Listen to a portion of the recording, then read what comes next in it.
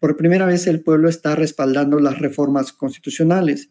Y ese desprecio y esa descalificación a esa reforma proviene de los que se sentían dueños de la Constitución, dueños de su interpretación, dueños de qué es el derecho constitucional. Entonces también hay una crisis grave en el entendimiento del derecho por parte de algunos, porque ya perdieron el monopolio, el monopolio de estar en los medios de comunicación, el monopolio de opinar solo ellos, el monopolio de decir, solo aquí le sabemos a, la constitución, al derecho constitucional. Y eso creo que se está notando durísimo, ¿no? Cómo están perdiendo esa capacidad de entendimiento. Ya están obnubilados, ya están perdidos eh, y ahora pues hay otras reglas y hay un constitucionalismo social emergente, transformador, que empodera al pueblo y entre más pueblo haya en las decisiones de gobierno, mucho mejor, mucho mejor. Eso era desde, yo lo he dicho en, en, en Twitter, ¿no? En X,